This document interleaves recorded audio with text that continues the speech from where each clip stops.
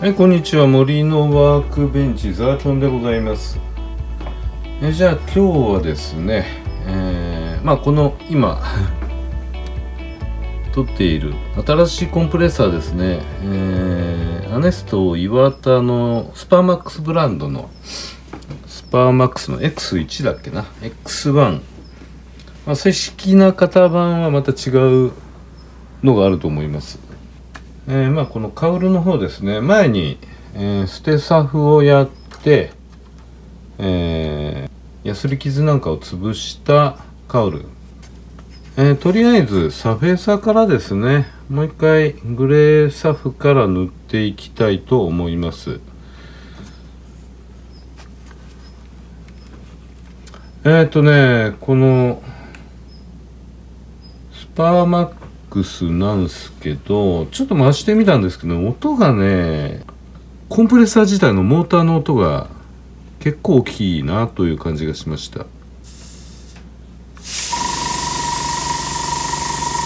まあただ僕的にはこのコロコロっていう音が好きですね。コンプレッサーらしい音っていうかねブーンって音じゃなくコロコロコロっていう音ですね。でエアーは今ね0.3メガパスカル超えた状態です。まあサフェーサーでここまで高圧は必要はあまりないと思うんですけどちょっと離れたとこから今まではねこれぐらい近づけてたんですけどちょっと離れたとこからどんな感じか吹いてみます。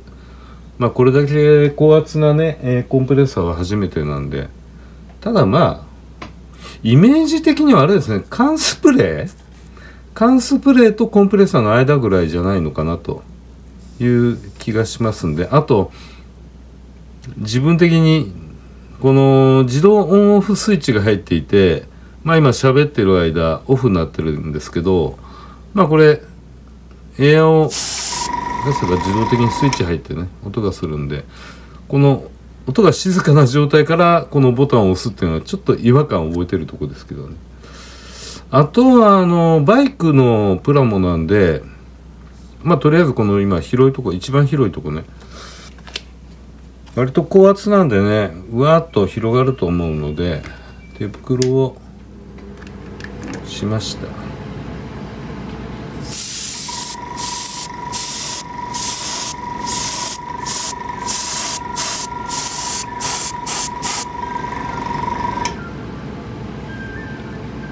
という感じで音があのコンプレッサーが止まるわけですよ。まあ、これがドレンですね。それから水抜きドレンね。でこれがエアの調整バルブ。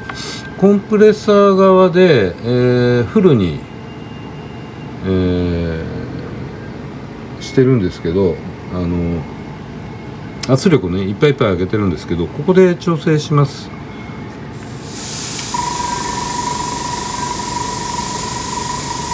で要はここでエアを逃がすんでこう絞っていくとここからエアが漏れる音がするんですよ。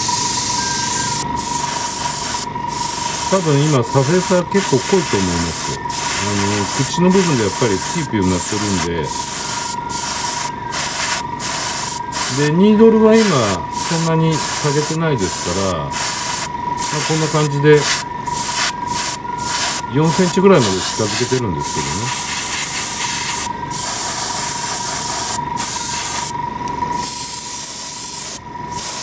ういう広いとこはちょっと離した離れたとこからも拭けるだけのエア圧はありますか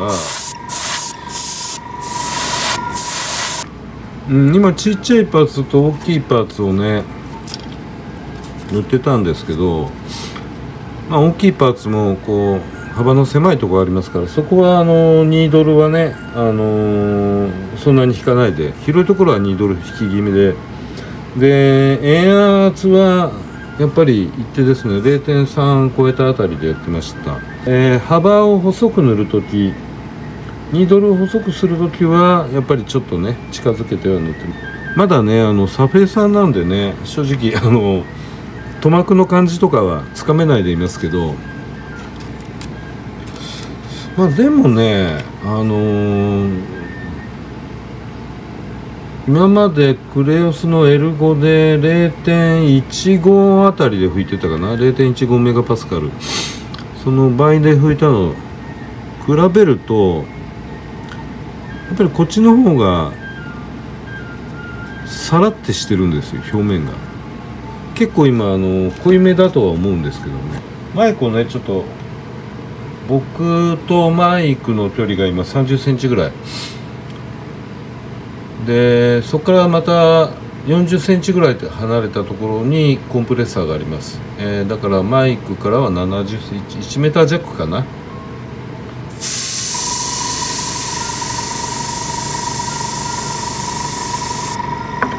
で音的にで音的に今あのエアブラシのシューテ音入ってるかどうかわかんないんですけどそれとコンプレッサーがほぼ同じ位置です。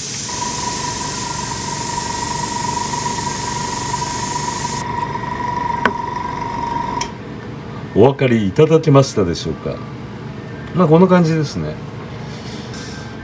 であの、もともとあのスパーマックスっていうメーカー確かね台湾のメーカーだったと思うんですけどまあ台湾から世界中にね販売してたメーカーだと思います。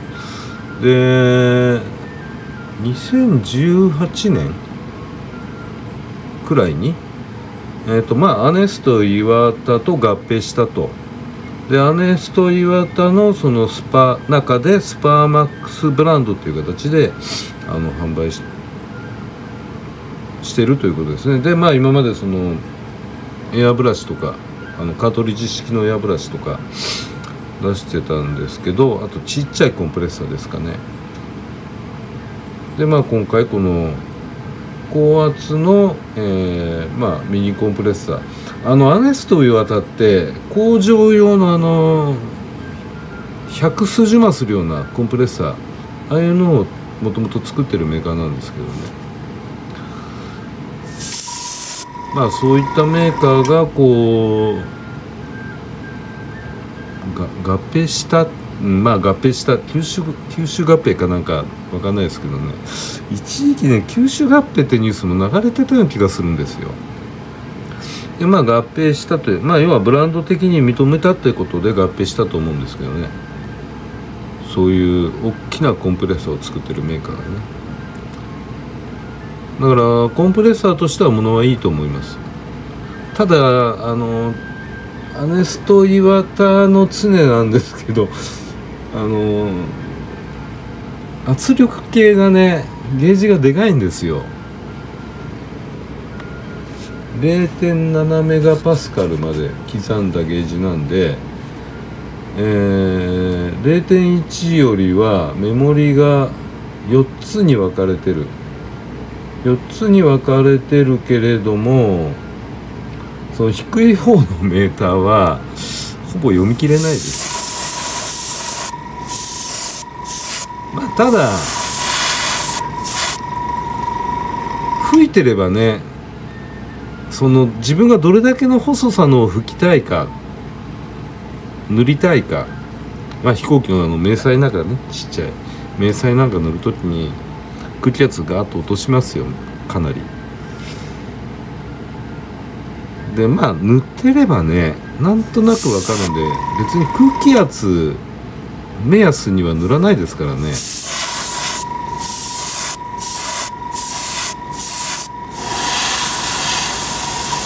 ただまあこれだけ細いの本来であればこれだけ細いとこはエアをもうちょい絞ってね。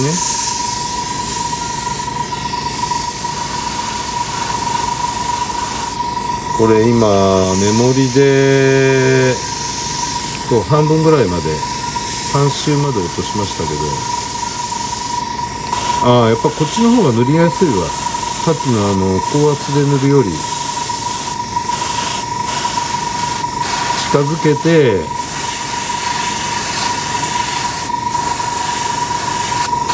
塗る分にはやっぱり手圧に絞った方が塗りやすいです。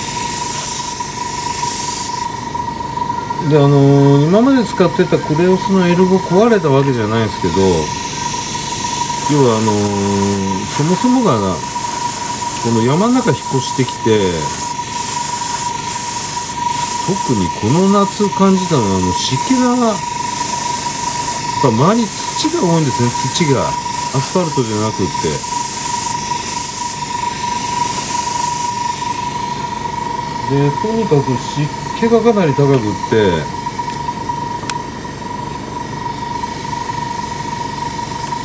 エアコンつけて除湿してもあのー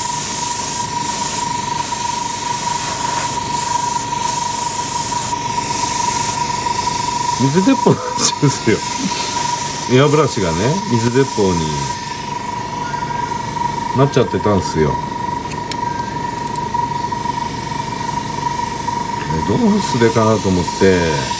ここここういうのこういうの分かんなかったから知らなかったからねこんな手元につけるドレンフィルターなんて。最初ねエアータンクをつけようと思ったんですけどどうもエルゴは圧力不足でエアータンクがダメみたいでじゃあいっそのことを買うかと。コンプレッサーをね。で高圧のコンプレッサーあればまあ将来的に車のモデルなんかでウレタンクリアとかも対応できるじゃないですか。まあウレタンクリアやるかどうかわかんないですけど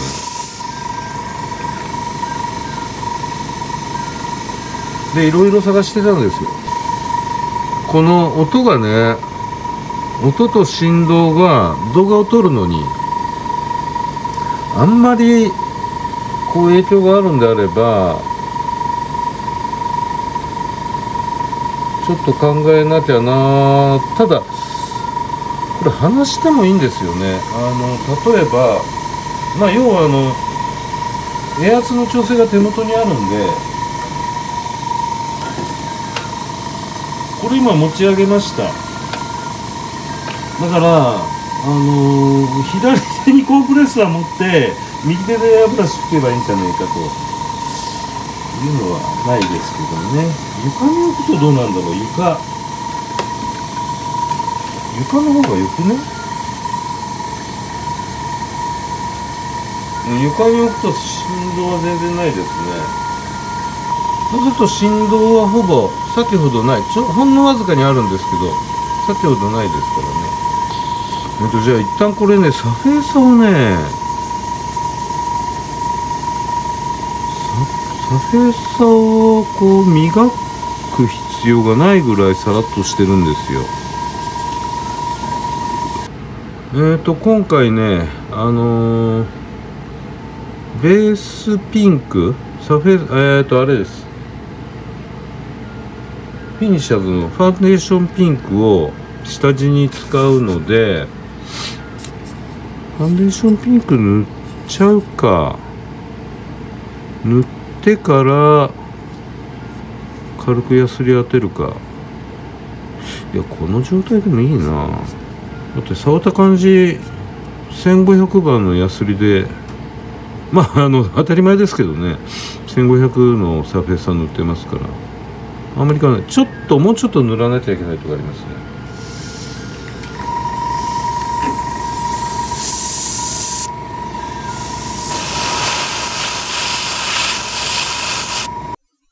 はいで今ねえー、サフェーサーを塗り終えたパーツをまあ虫 虫眼鏡で見ながらまあ、いつものようにルーペで見ながらね、肉眼ではなく、メガネ越しではなく、まあ、メガネ越しではあるんですけど、えー、ルーペで覗いてて、えー、まあ、物とか、物がほぼ出てない。これは、なんだろうな。これ物かな。まあ、0.5でやってたんでね。もうちょっと物飛ぶかなと思ったんですけど、意外に飛ばなかったな。で、一箇所ね、一箇所ねっていうか、重大な、あのー、テールカーブの下なんですけど、まあ、気にしないっちゃ気にしなきゃあれなんですけどね。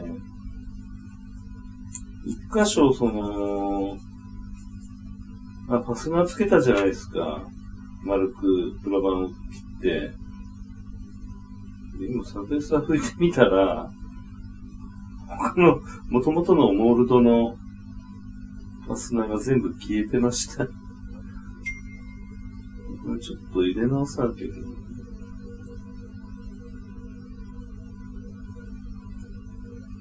これあれだね。プラバン丸く切って、貼っときますか。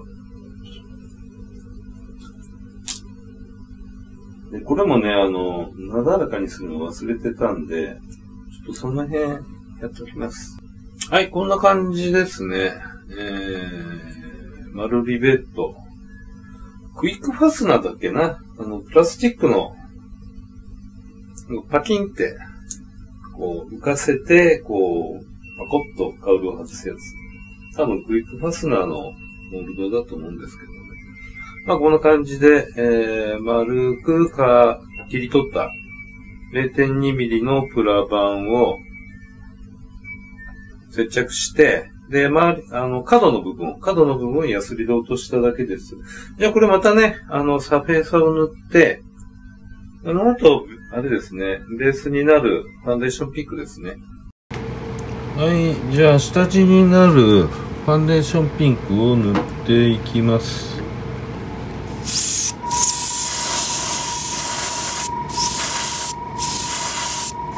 めっちゃ見て力高いな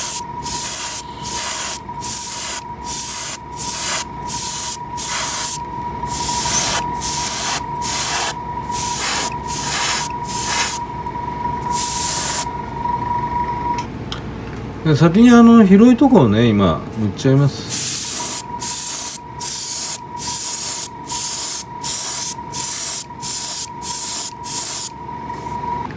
幅の狭い方を圧力を低めにして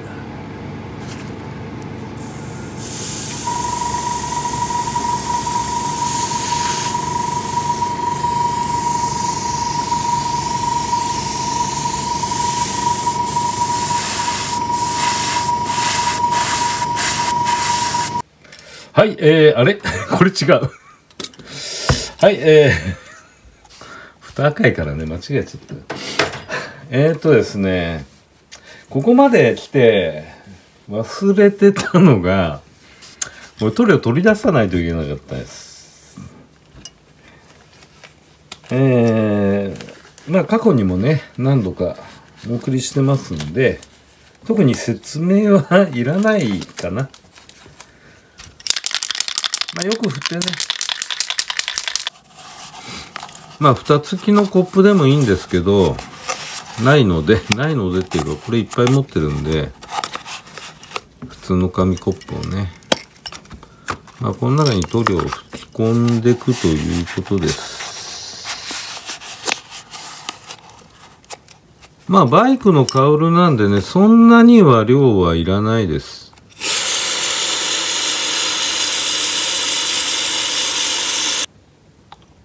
これで今どうだろう？瓶半分ぐらいかな。これ使い古しの瓶洗ったやつですね。IPA で洗ったやつです。勢いよくやるとね噴火しちゃうので噴火って火がつくわけじゃないけどブバババーっとなっちゃうんで。もうこんな感じであの中で炭酸ガスがブシュブシュブシュってなってるんでね吹き出しちゃうんですよで要はこの状態の塗料は塗れないですから、まあ、この炭酸ガスを抜くということですね。もう振るだけでブクブクなってきちゃうんで。量的にはこのもうちょい、あまり入れちゃうと今度ガス抜きの時にまたね、ブバーっと瓶から溢れるんで、で、まあこれあのー、蓋を半開きでね、放置しといてもいいんですけど、ほら、ほら。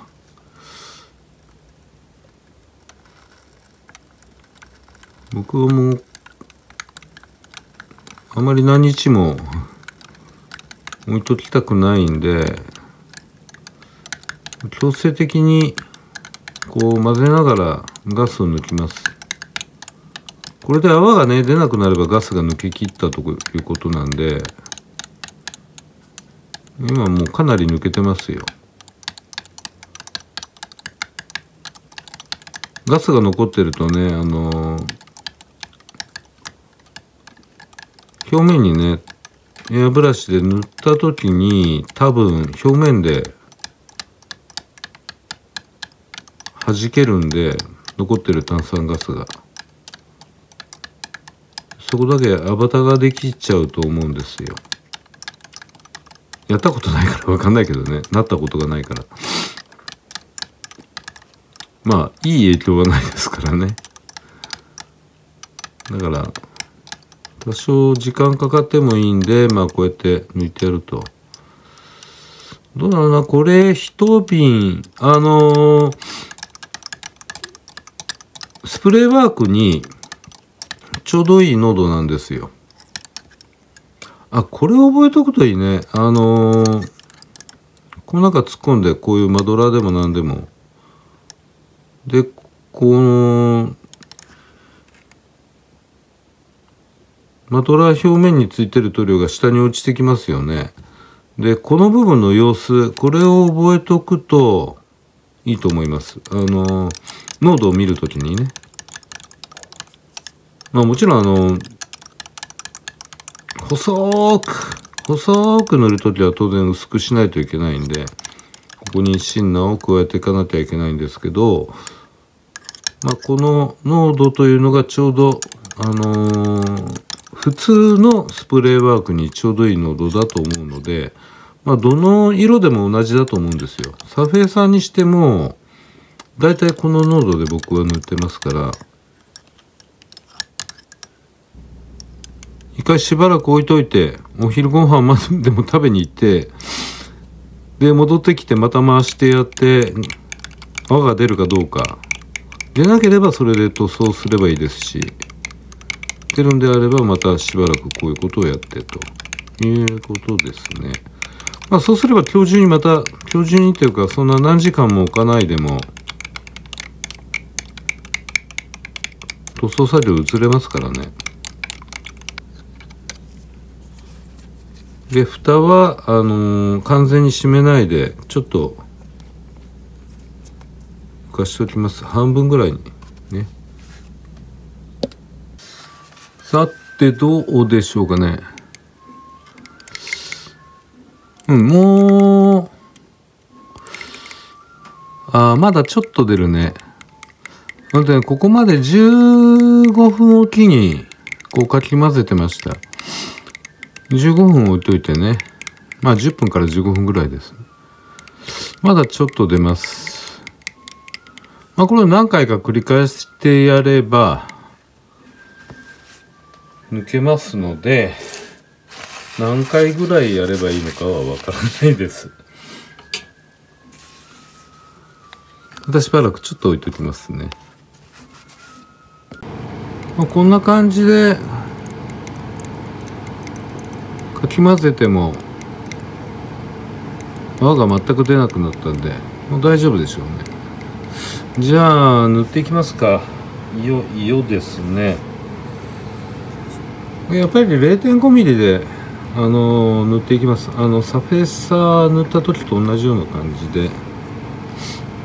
サフェッサーっていうかこのベースカラーね。ピンクを塗った時と同じような感じで塗っていきます。えー、強めの圧でちょっと離して。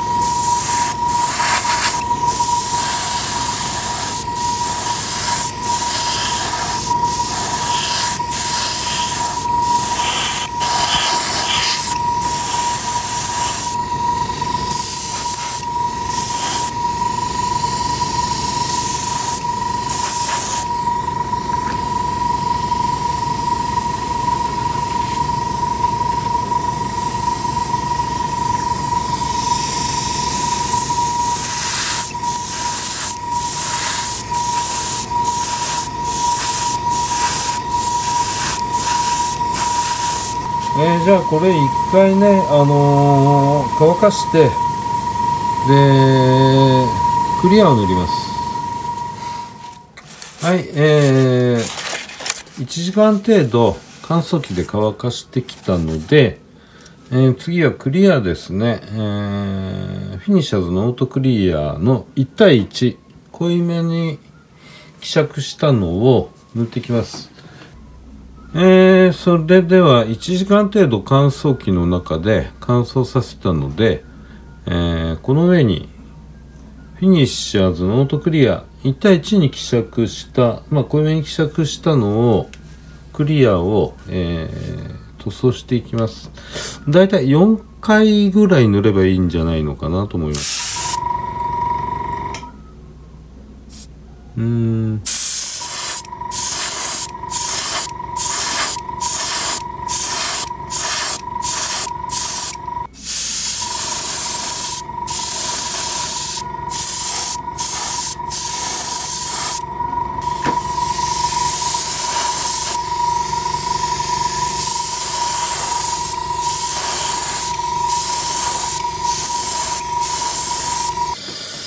はい、えっ、ー、と、外装カラーの延長でですね、シートの塗装ですけど、まあ、あの、なんだろう、えベロア調というか、スウェードね、スウェード調のシート生地なんで、完全に艶を消したいんですよ。で、落下塗料だとどうしても光を反射しちゃうんですよね。で、艶があるように見えちゃうと。まあ、艶がなくは、艶が、艶というのはないですけど、こう白く光っちゃうと。でちょっとアクリルガッシュを使ってね、やってみたいと思います。えー、赤の方は、えー、パーマネントスカーレットとパーマネントレッド。水でエアブラシで拭ける程度まで希釈をします。ちょっと塗ってみますね。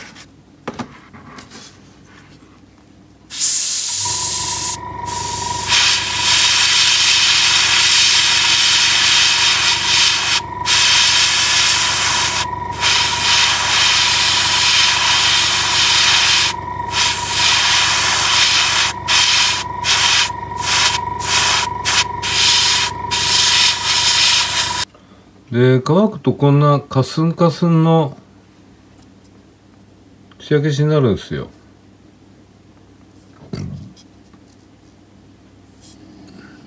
だから布地なんかはこういう方がいいのかなと思ってね。はいえー、クリアを塗り終わってね。えー、まあ1時間程度乾燥機の中で、まあ、30度ですか、30度の乾燥機の中に放り込んでおきました。で、この状態でね、あのー、3日ぐらい放置します。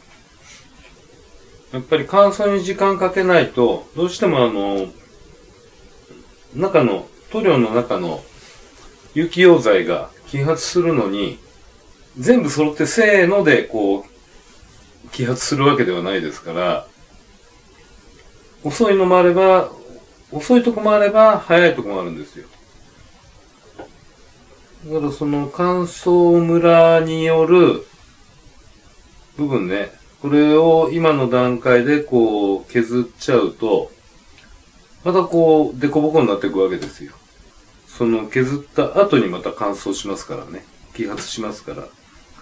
だからここは時間をかけたい部分です。ただまあ中研ぎなので、通常はあの取り出しするときはね、中閉じをやって、で、その上にクリアをまたこう、乗せていくわけですよ。少なくともその中閉じ前のクリアの層と同じ厚みぐらい乗せていきます。で、それから本ちゃんの乾燥なので、それでだいたいやっぱり乾燥機を使いながら、まあ1日1時間乾燥機使うかな。で、それで1週間ぐらい置いておくっていうのが常なんですけど、まあ、今回、あのー、その、クリアの厚みが半分なんで、まあその1週間の半分でいいのかなと思って、まあ3日ぐらい置いておけばいいかなと思います。結構ね、やっぱりね、あのー、コンプレッサーの意味はありますね。高圧のコンプレッサー。結なんていうのかな。割とこう、表面が、まあ今までの L5 と比べて、艶やかなんですよ。ただ、く、なんていうのかね、円圧が高いから、今まで以上に、埃が舞ってたと思います。埃が。で、まあ今までそんなに埃乗らなかったのに、っと今まで以上にね、埃が乗っちゃってるんで、まあと、ただこれはあの中研ぎすればね、見えなくなりますから、あの、サフェーサーからの埃ではないですから、サフェーサーとか、ファンデーションピック、それに乗っかってた埃ではないので、これは削れば消えていきます。なのでこれは、これで、えー、乾燥待ちですね。で、まあこの乾燥待ちの間に、またあの、車体の方、えー、この前、リアタイヤの取り付けまで行きましたか。それの続きをいきまやりますんで、えー、なので今日は、えー、新規導入したコンプレッサーの使い初め？使い初めですまあレビューレビューってほどまで言ってないからねまあ使ってみましたみたいな感じですね。じゃあ次回は私は体の方ですね。それではまた。